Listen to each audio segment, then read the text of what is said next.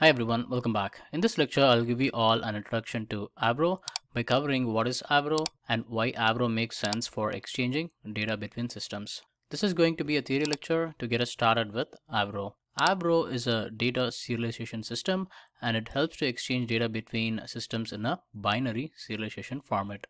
Avro is a compact and a fast binary data format. Some of the benefits with it are it takes less space and it also has a direct advantage of taking up less memory and it also speeds up the transfer of data. It also has a support for most of the programming languages such as Java, C Sharp, Go, Python, and more. And Avro as a system has the capability of making remote procedure call, but this feature is not needed for the scope of this course but I feel like it's still worth mentioning it. Now in this slide, I'm going to talk about uh, why Avro. As I mentioned before, Avro as a support for schema interface definition language. This means the data owner defines a schema in JSON format for the data structure that they would like to communicate to the other system. Let me quickly show you how it works in action. The producer in this case is the data owner and the team will create a schema and then share it to the consumer team through a common interface such as schema registry and then the consumer can read the schema first and then expects the data to be in the same format. So with this architecture, the producer will always make sure it produces the fixed data structure based on the schema because if the schema doesn't match, the producer will not be able to publish that record into the Kafka topic. This architecture also makes the data evolution and schema changes fairly less complicated. I'll talk about the data evolution and schema changes as part of a different section, but for now I hope you are able to visualize the concept of schema, schema registry and how it works in action. One quick thing to call out is that we can also publish and consume Avro records without the schema registry. I'll show you an example of how to do it when we get to the coding part. So another important reason why Avro is very popular is because of the support of the rich data structures. It pretty much has a support for all the possible primitive types that are available in software.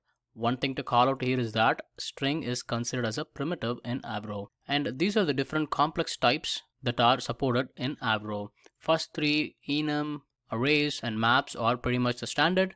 The fourth one is a record which is a special one in Avro. This type is normally used to hold or represent multiple complex type. Anytime we define a schema, it will be of this type. Basically, this type can hold multiple complex types. So here is an example of a schema and how that would look. You may be able to notice that the schema is defined in the JSON format, which is really nice because JSON is something which everyone is most comfortable to work with. So you define a schema with the type as record and in the field section we provide all the different fields the data structure is going to hold. In this example, we just have a simple type string and just one field as part of the schema. But in reality, the number of fields and the different types a schema can hold will be much bigger. Don't worry too much about the details in this schema. We will learn more about writing these schemas as we go further in the course. The next new type in Avro is the union type. This can be used to represent a particular field can hold multiple types. In this example, a particular field can be a string or a null. Basically, this type is used to represent an optional element. And the next new type is fixed. This is used to represent a field of fixed size, which specifies the number of bytes of the value. If you have experience working with hashing algorithms, the output will always be of specific size of bytes. And you can use a fixed type for that. In my experience, I have not used this type at all, but it's there just in case if you have a use case for fixed size of bytes. The support for rich data structures is also one of the reasons why Avro is popular over other formats. I hope you all have a good understanding of what Avro is and why Avro is the most popular choice in working with Kafka and Schema Registry. In the following lectures, we'll start doing a lot of hands-on to get yourself comfortable working with Avro. With this, we came to the end of this lecture. Thank you for watching.